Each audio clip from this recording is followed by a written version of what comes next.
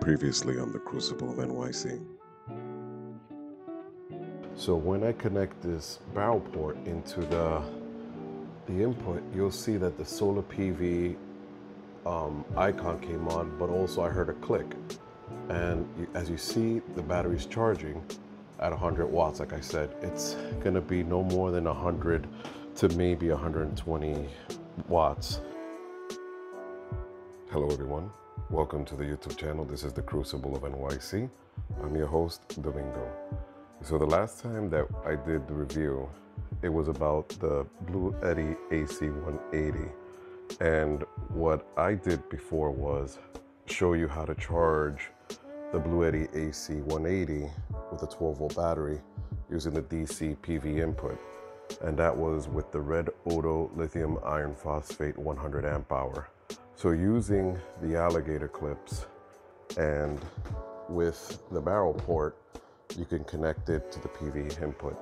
So what I did was I removed the lithium iron phosphate battery that I had on my DIY project and I wanted to show you how to connect this in series. If you have two 12 volt 100 amp hour batteries, you can charge the Bluetti at 24 volts with 100 amp hours. So from the last time, it went up to like 100 to 110 watts of charging input. So I'm gonna show you now, once we connect it in series, we're gonna utilize one cable and we're gonna connect it from the positive of the Power Queen to the negative of the Redodo. And then we're gonna use the alligator clips to connect it to the positive and the negative of each battery. And we're gonna finally connect the barrel port into the PV input that's gonna show you how much current is going to be coming in. So right now the state of charge of the Blue Bluetti AC180 is at 89%.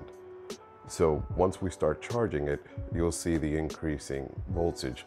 So right now what the first thing is you should do is that if you do decide to go with a connection of series from two 12 volt batteries to turn them into a 24 volt battery system, you need to make sure that you measure the voltages on the battery. So the Power Queen, I was utilizing the, um, the 20 amp charger just to boost it up a little bit because it was at about 13.3 volts and the red Odo was at 13.5. Now, that's just a slight variation. It's not that big of a deal. Now, if it was lower, then it's something to be worried about because then what happens that one battery starts to charge the other. So the higher one starts to discharge to go to the lower battery to charge that one to keep it at the same voltage. So if you see right now that the voltage is dropping on that battery on the Power Queen is because I just gave it a burst charge so that it can measure to around the same voltage. So remember that the Redodo was at 13.5 and this one was at 13.3, which is now at 13.692, 691 and dropping.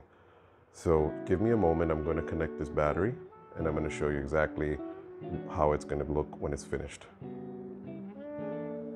And like that, folks, the batteries were connected. So what I did was is that I connected the negative battery, the negative terminal here to the positive terminal here on the power queen.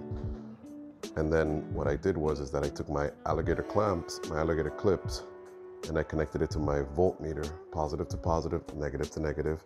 And now you see that we're reading at 27.63 volts. So once that the Bluetti is at 27.3 volts, you know that once we connect the alligator clips, we're going to connect the alligator clips to the terminals to then have the proper connection to the Bluetti.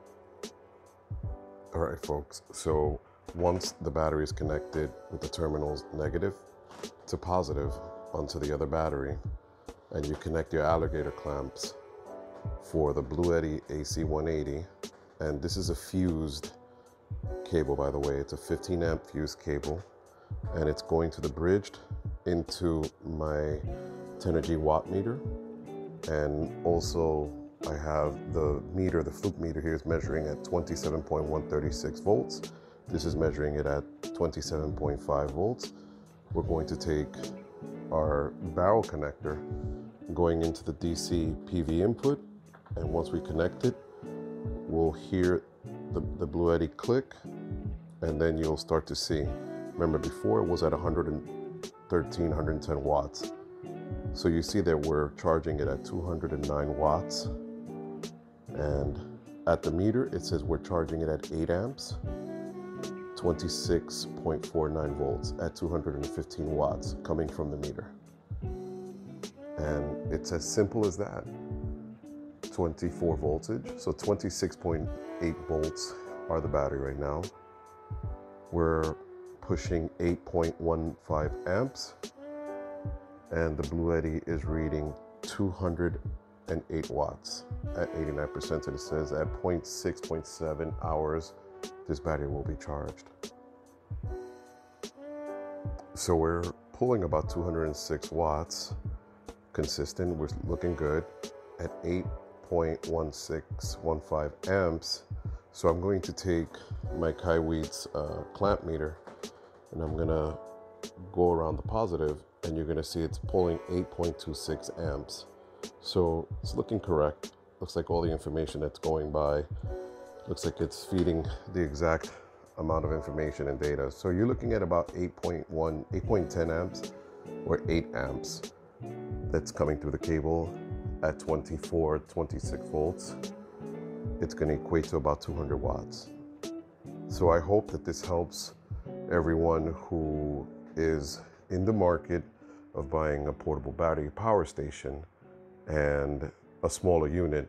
And if you have two separate batteries that are 12 volt at 100 amp hours, you can charge your Bluetti at about 200 watts and at least uh, the, the cost of buying one Bluetti uh, BC, I think it's B300, they're, they're pretty expensive.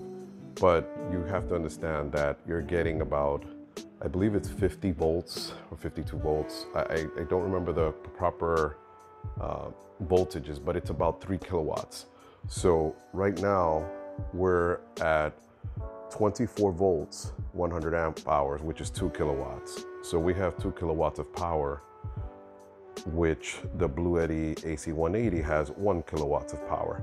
So with the internal battery and your setup, you have three kilowatts of batteries, the same amount that you would get at a separate unit, but the separate three kilowatt battery or two kilowatt battery from Bluetti, plus the Bluetti is still the same three kilowatts. So if you do your math and if you play around and if you play smart, you can extend the battery life and extend the longevity of the usage of your Bluetti AC180. And if you have any questions, please feel free to leave them in the comments and I'll get back to you as soon as I can. Take care, folks. and Have a good one.